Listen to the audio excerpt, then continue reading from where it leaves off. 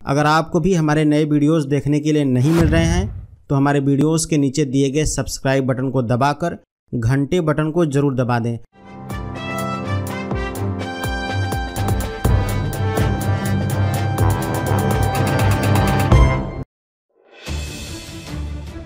नमस्कार दोस्तों, PRC news के एक नए और फ्रेश वीडियो में आप सभी का एक बार फिर से बहुत बहुत स्वागत है। इस समय आधार कार्ड को लेकर बड़ी अपडेट निकल कर आ रही है।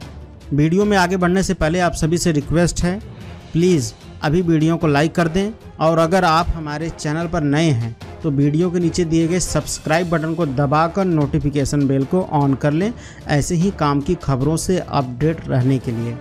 चलिए यू ने दी चेतावनी। इस तरह के आधार कार्ड अब नहीं रहेंगे वैलिड जी हाँ यू ने उपभोक्ताओं के लेमिनेटेड या फिर plastic Aadhaar card PVC card को अमान्य करार दिया है। यू ने कहा है कि प्लास्टिक आधार कार्ड या Aadhaar smart card PVC card valid नहीं है। तो अगर आपने अपने आधार का लेमिनेशन कराया तो आधार कार्ड वैलिड नहीं रहेगा। इवन अगर आपने अपने आधार को स्मार्ट प्लास्टिक कार्ड पर प्रिंटिंग कराया तो ऐसे आधार भी अमान्य होंगे। आइए जानते हैं आखिर क्यों बंद किए गए प्लास्टिक आधार कार्ड। दरअसल प्लास्टिक आधार कार्ड या लेमिनेटेड आधार की अनऑथराइज प्रिंटिंग के चलते आधार पर मौजूद क्यूआर कोड डिसफंक्शन हो जाता है।